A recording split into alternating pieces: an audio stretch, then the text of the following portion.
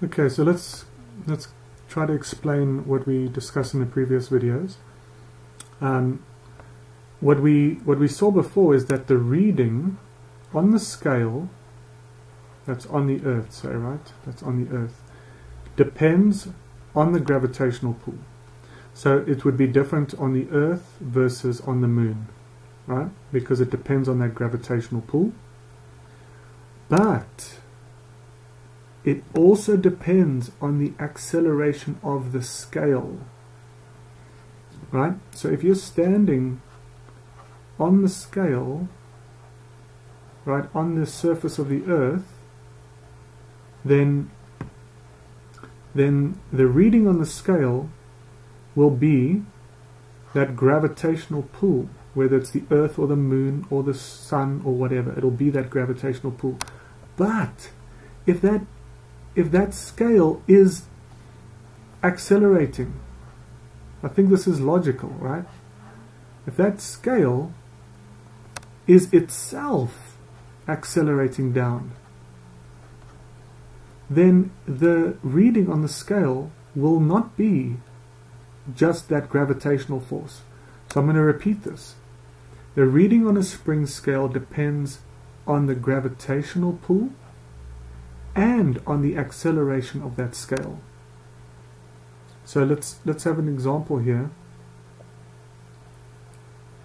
So say now you have a brick on a stationary floor and you right there's a there's a spring scale and you measure the force of the spring on the brick the force of the spring on the brick uh, because the acceleration is zero because uh, it's in equilibrium the force of the spring on the brick is simply that gravitational pull. Okay? It's exactly what we just discussed. However, if you put the same setup inside an elevator accelerating downward, then what's going to happen is that gravitational pull remains identical to before. It stays exactly the same. But because there's an acceleration down, there has to be, what this means is if I add that force vector up plus that force vector, I need to have a, a, a resultant force vector downwards, right? If I add that vector and that vector, there needs to be a vector sum that's pointed downwards. So in this case, this force equals this force.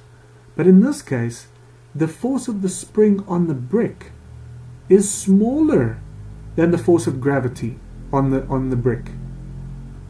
Okay? Make sure you understand this. And because because remember that interaction pair?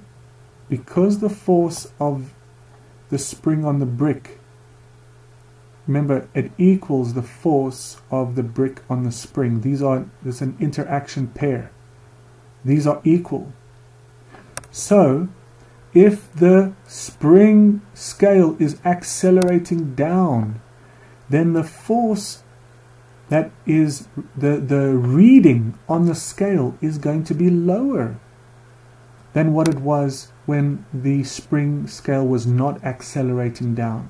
Similarly, if the spring scale is accelerating up, say the elevator is accelerating up, then this spring scale will have a higher reading than the gravitational force. Okay?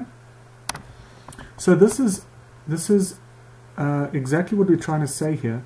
And so what would happen if the spring scale, if the acceleration was g, say say near the near the surface of the earth.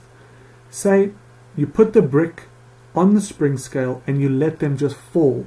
They both fell. Right? They were just falling freely objects in free fall. Then, of course, there would be no reading on the spring scale because just because why? Any object subject to only a force of gravity experiences weightlessness. Okay?